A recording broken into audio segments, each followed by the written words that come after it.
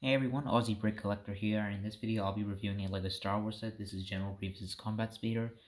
This set came out in 2018, retailed for $45, though I got mine for $30 in sale because $45 is ridiculous anyways. And this is actually not my first time reviewing this set, I reviewed this set four years ago.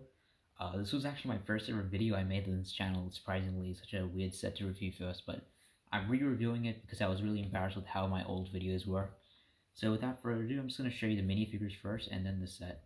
So here is Mace Windu, and the main reason I wanted to buy this set is because of the minifigures. The minifigures were really good in the set, Mace Windu.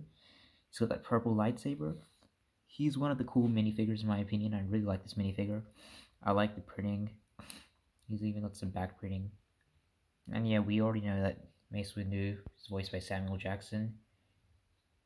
And I really like that purple lightsaber. There's Mace Windu. And then the main draw of the set is the General Grievous minifigure because of his awesome four arms. And he holds four lightsabers. So two greens and two blues. And you can see his face. You can move it up.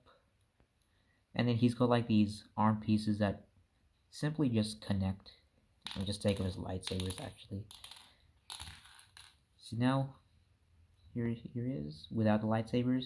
So you got these arm pieces that are just that are just connected to the other arm piece, simply like that. General Grievous is one of the cool minifigures. Alright, let's take a look at the combat speeder. Here is the combat speeder. And it's got some nice stickers here. It's a simple build, nothing that interesting as a whole. Here's the bottom. And then you got this over here, spring loaded shooters. On the bottom over here, you can put General Grievous's lightsabers. So I'm just going to put that there.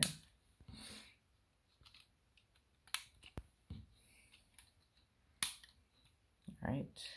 And then you can put General Grievous here. So yeah, this is his vehicle. This is actually based on the Clone Wars. This vehicle was in the Clone Wars season five, I believe. It's actually been a while since I haven't watched the Clone Wars. Then you got these spears over here that kind of show this kind of cool design. So yeah, General Grievous rides this thing on one of the planets. You got thruster here. Some more stickers here. Here's the bottom. And um, I'm just gonna try to shoot Mace Windu. And let's see if that works. And yeah. Spring loaded shooters are pretty popular. They're pretty cool to shoot at. You know, you got two of them. You got you actually get three in this, so there's an extra. But that is it for this set. It's gonna show you the box and instructions now.